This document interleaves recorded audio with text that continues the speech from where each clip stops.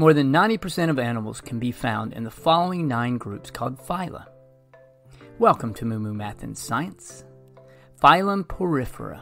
This phylum contains sponges, which are pretty basic animals with no specialized organs, but they are filter feeders that suck up plankton and other organic matter found in the water.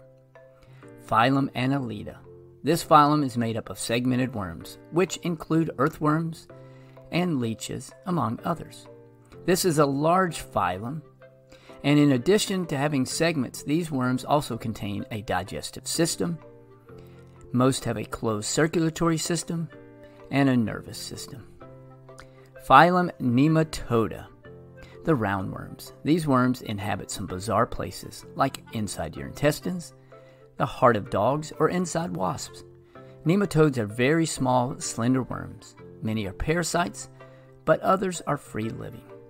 This next phylum is tough to pronounce Platyhelminthes. These are the flatworms. They are ribbon shaped worms that can absorb food and oxygen through their skin by diffusion. Examples include the planarian and tapeworms.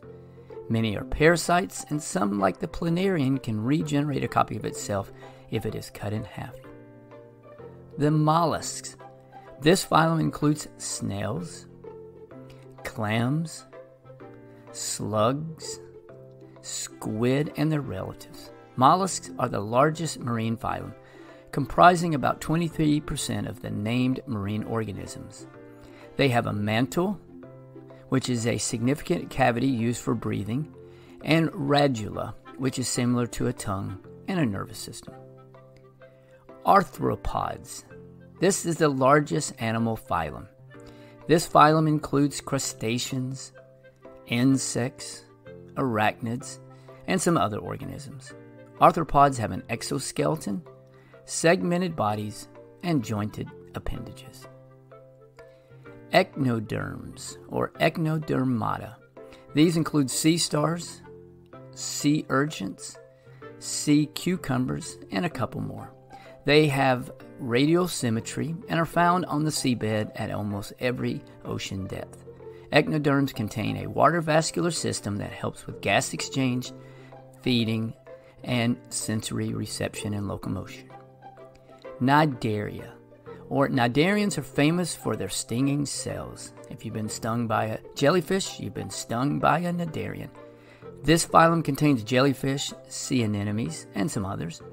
They mostly have two basic body forms the swimming medusa and polyps, both of which are radial symmetry.